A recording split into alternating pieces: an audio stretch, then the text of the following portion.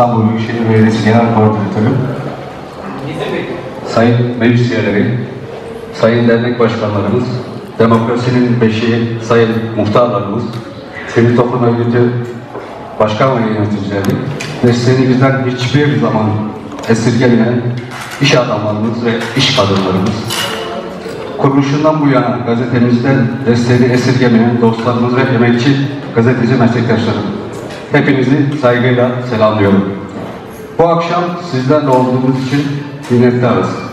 20, 20 yıl önce amacımız sadece toplumun ve bölgenin sesi olmaktı.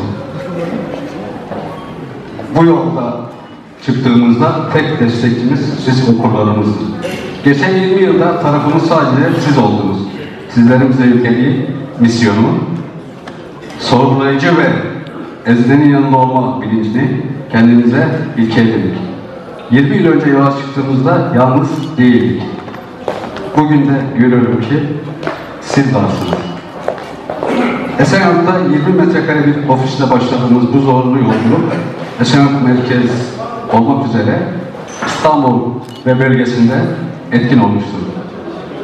Dostluğunu, dostluğunu benden hiçbir zaman esirgemeyen ve zor zamanında yanında olan özel insan, sevgili dostum Halil Çiftçi kardeşime teşekkür etmek istiyorum. Türkiye'de ne yazık ki basının ne kadar zorluklar içinde olduğunu hepimiz iyi biliyoruz. Ama söz konusu yerel basın olunca mesele daha çok zorlaşıyor. Yani o zaman yereldeki bütün yerel unsurların tamamıyla iyi geçinmek zorundasınız. Kaymakamla iyi geçineceksiniz. Valiyle iyi geçineceksiniz. Hatta hatta daha ileri gidiyorum, kamudaki bütün yöneticilerle iyi geçinmek zorundasınız. E böyle olduğu zaman zaten gazete olmaktan çıkıyorsunuz, başka bir şeye dönüyorsunuz. İngiltere'de yerel gazetelerin ömrü 200-250 yıl. Yani 250 yıl önce kurulan bir gazete yaşamını sürdürüyor. Nedir bunu ayakta tutan? Bir, onun en büyük gücü özgürlüğü. İki, yerel gazetelerin yaşamını sürdürebilmesi için tıpkı ulusal gazeteler ve ulusal televizyonlar gibi nasıl ki reklamda pay alıyorsa yerel gazetelerin de payları ayrılıyor. Aslında Türkiye'de de benzer bir olayın hayata geçmesi için bizim İzmir milletvekilimiz Atilla Bey'in çok güzel bir çalışması oldu ama ne yazık ki parlamentoda bekliyor bir türlü hayata geçiremedik. Eğer bunu yapabilirseniz, bunu yapabilirsek şuna emin olun dünyanın her yerinde olduğu gibi basın vatandaşın aynasıdır, ayna görev yapar. Dünyanın birçok ülkelerinde gazeteler, televizyonlar elbette desteklediği, hatta birebir seçim kampanyasında yan yana durduğu siyasi partiler de var.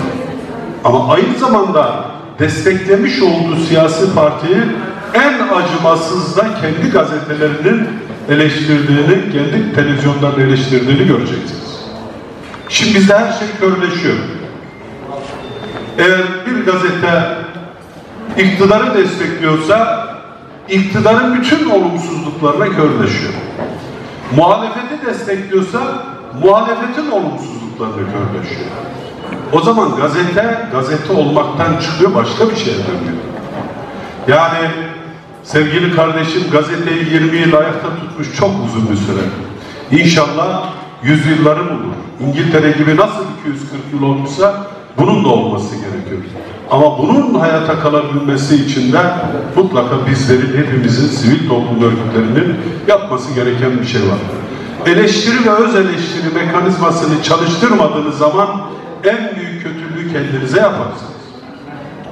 Biz de ne yazık ki bu mekanizma çalışmaz durumda ve bu çalışmadığı zaman da doğal olarak da zaman zaman mesela ülkemizde olup biten meseleleri ben isterim ki kendi gazetelerimizde, kendi televizyonlarımızda ne oluyor, ne bitiyor oradan takip edeyim ama yabancının gazetelerinde, televizyonlarında bütün olup bitenleri takip etmek doğrusu hepimizi çok uzuyor.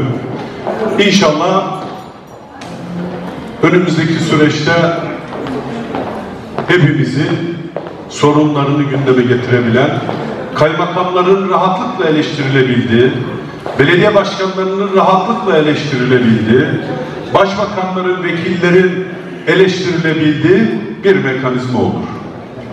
Hele vekillerin, yani doğrusu bir milletvekili olarak söylüyorum, adınız aynı zamanda bir milletvekili. Hangi millet bizi seçti? Mesela merak ediyorum. Yani elin Almanı, Fransızını millet seçiyor. Biz kendi siyasi partilerimiz tarafından tayin edildiğimiz için tayinli milletvekili olmaktan, tayinli belediye meclisi olmaktan, tayinli belediye başkanı olmaktan çıkarırız. O zaman millet kendi kaderini kendisi tayin etmiş olursa basında özgürlük özgür olur, televizyonlarda özgür olur. Tayinli sistemde kurtulacak günü hep beraber yaratmak zorundayız. Evet söylenecek daha çok şeyler var. Murat kardeşim seni tebrik ediyorum. İnşallah ömrün uzun olur. Hayırlı akşamlar, sevgiler, saygılar. Sağ olun. Ülkemiz gerçekten zor bir süreçten geçiyor. E, Bu zor süreçte de en büyük şey e, yetki ve sorumluluk biz iş adamlarına düşüyor. E, O yüzden özellikle 20. yılını kutlayan Yeni Umut Gazetesi e, yayın müdürü, e, imtiyaz sahibi Murat Abdullaoğlu'na da teşekkür ederim. Bana bu ödülü layık gördüğü için. Teşekkürler. Siyasi büyüklerine teşekkür ediyorum. Murat Abdullahoğlu'na da nice 20 yıllar diliyorum. Saygılar sunuyorum.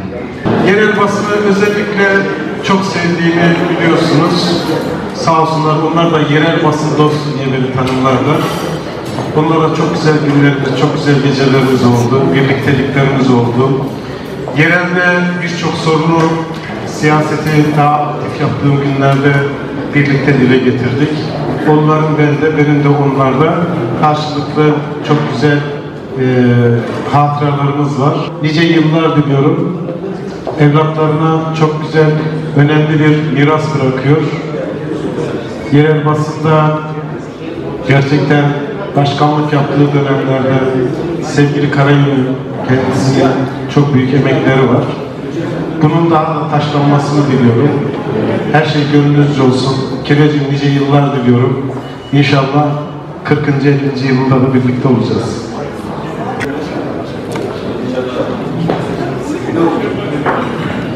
Herkese merhaba, hayırlı akşamlar. Allah Murat'a uzun ömür versin gazeteciliği için. Demin Oruç abi dediği gibi.